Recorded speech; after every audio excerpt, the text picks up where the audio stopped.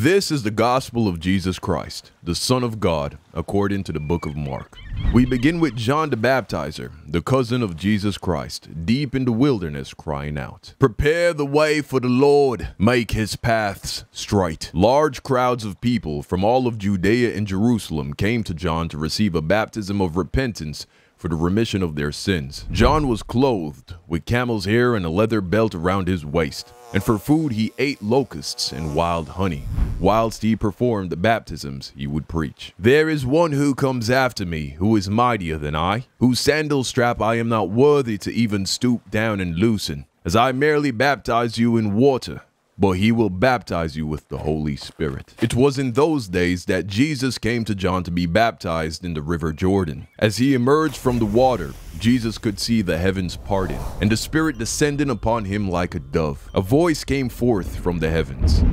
You are my beloved Son, in whom I am well pleased. After his baptism, the Spirit of God led Jesus into the wilderness, and there he was for forty days, amongst the wild beasts, being tempted by Satan and ministered to by angels.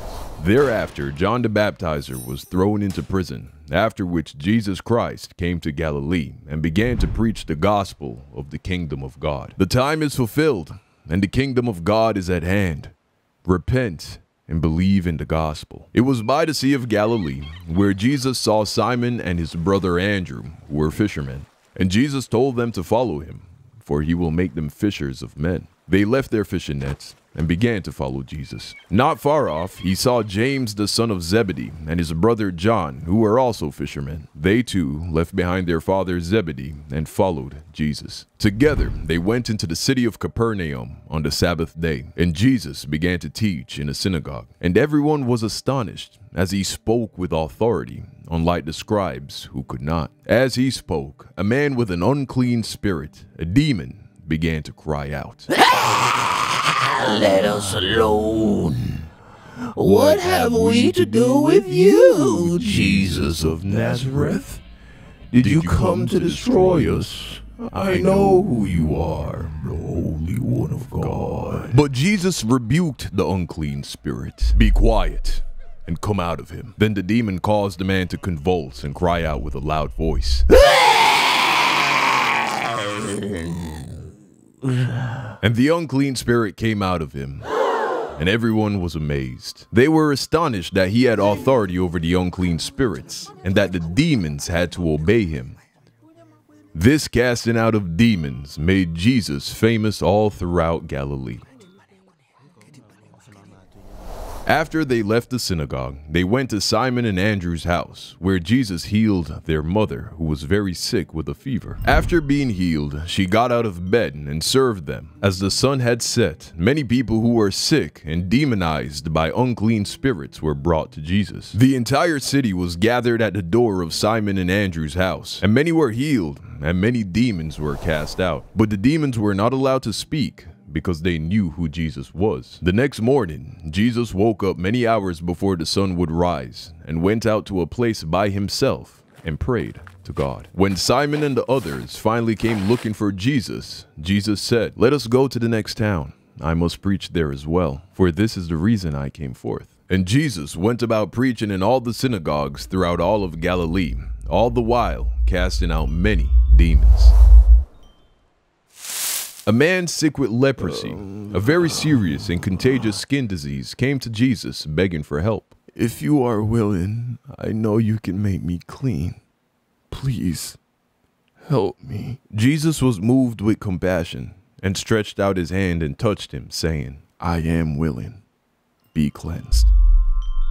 Immediately the leprosy left him, and he was cleansed. Jesus told him not to say anything about what he did, but that he should go before a priest, showing that he was now clean, and offer the appropriate sacrifice according to the law of Moses. But the man did not obey Jesus, and instead told everyone about what Jesus had done for him. Afterwards, Jesus' fame grew to such an extent that he could no longer enter the city, and so he traveled outside the city to very isolated places, and the people came to him from all around. After some some days, Jesus re entered Capernaum. Again, a large crowd gathered at the house, and there was no room for everyone to be near him as he preached. A paralyzed man was brought to him by four men but they could not enter through the door, for there were too many people. So instead, they went to the roof and uncovered the room where he was, and then they let the man down on a bed. Seeing what faith they had in Jesus, he said to the paralyzed man, Son, your sins are forgiven. Now there were scribes nearby who considered Jesus' statements blasphemy,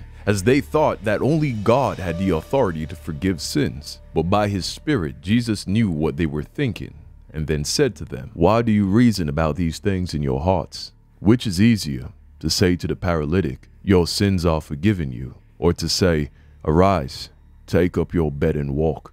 But that you may know that the Son of Man has power on the earth to forgive sins. He then told the paralyzed man, Arise, take up your bed, and go home.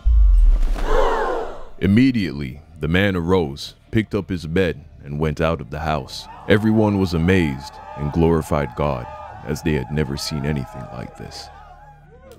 Soon after, Levi the tax collector, son of Alphaeus, joined Jesus' group. Jesus and his disciples ate at Levi's house, along with many other tax collectors and sinners. When he was seen doing this by the scribes and the Pharisees, they judged him for eating with tax collectors and sinners. Jesus then explained that he did not come to call the righteous, but the sinners to repentance. Again, at another time, Jesus was approached and asked why he doesn't instruct his disciples to fast, like the disciples of John the Baptizer and the Pharisees. Jesus then explained that whilst he was with them, there was no need for them to fast, but a day would come when he would be taken away from them, and in those days they would fast. Again, at another time, Jesus and his disciples were walking through a grain field, and his disciples plucked heads of grain so that they may eat. When the Pharisees saw this, they accused his disciples of breaking the Sabbath law, which is the fourth commandment. But then Jesus reminded them that King David himself ate the sacred bread of the temple when he was hungry, and according to the law of Moses, this bread was only to be eaten by the priests of the temple which David was not. It was then Jesus said, The Sabbath was made for man, and not man for the Sabbath. Therefore, the Son of Man is also Lord of the Sabbath. He then went into the synagogue, and there was a man with a withered hand. The Pharisees paid close attention to see if he would again heal on the Sabbath. Jesus then approached the man and then asked the Pharisees, Is it lawful on the Sabbath to do good or to do evil, to save life or to kill? But they didn't respond. And Jesus was angered by their cold and hard hearts. He said to the man, Stretch out your hand. And his hand was completely healed. The Pharisees immediately left and began to plot with the Herodians how they might destroy Jesus. Jesus then left with his disciples and stayed by the sea. And a massive crowd followed Jesus from Judea, Jerusalem, Idumea, and from even beyond the Jordan, as well as those from Tyre and Sidon. Jesus healed many people, and whenever the demons within the people saw him, they fell down before him and cried out, saying, You are the Son of God. Shh. But he always commanded them to be quiet so that they would not reveal who he truly was. After this, Jesus brought his followers up to a mountain where he selected 12 disciples who would go with him everywhere, and whom he could send in his name to preach the gospel and have the power to heal sicknesses and cast out demons. The 12 were Simon, who was given the name Peter, James, the son of Zebedee, John, Andrew, Philip, Matthew, Thomas, James the son of Alphaeus, Thaddeus, Simon the Canaanite, Bartholomew, and Judas Iscariot, who would ultimately betray Jesus. Jesus then returned home. But before he or his disciples could even eat, the crowds gathered yet again. Then Jesus' own family went out to restrain him, as they were saying that he had lost his mind. The scribes who had traveled from Jerusalem accused Jesus of being possessed by Satan, who they called Beelzebul, and that it was by the power of Satan that he was casting out demons. Knowing this, Jesus summoned everyone and began to teach. How can Satan cast out Satan? If a kingdom is divided against itself, that kingdom cannot stand. And if a house is divided against itself, then that house cannot stand. So if Satan is risen against himself and is divided, he cannot stand, but is coming to an end. No one can enter a strong man's house and plunder his goods, unless he first binds the strong man. Then indeed he may plunder his house. Truly I tell you, all sins of men will be forgiven, whatever blasphemies they utter. But whoever blasphemes against the Holy Spirit never has forgiveness, but is guilty of an eternal sin. He said this because they accused him of having a demon. Then he was told that his mother and brothers were outside calling for him. But then Jesus said that it is whoever does the will of God that are his brother and sister and mother.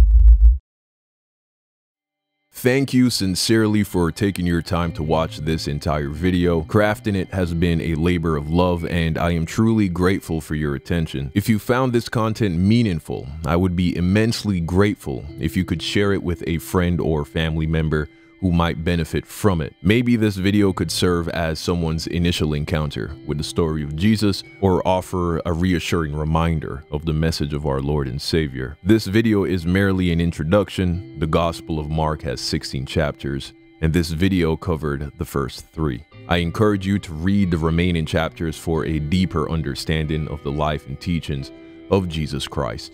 It should take you less than an hour and a half, and if you wish, you can begin at chapter 4, as I gave it my best effort not to omit anything significant. Once again, thank you, and may God's blessings fall upon you as you continue in the faith.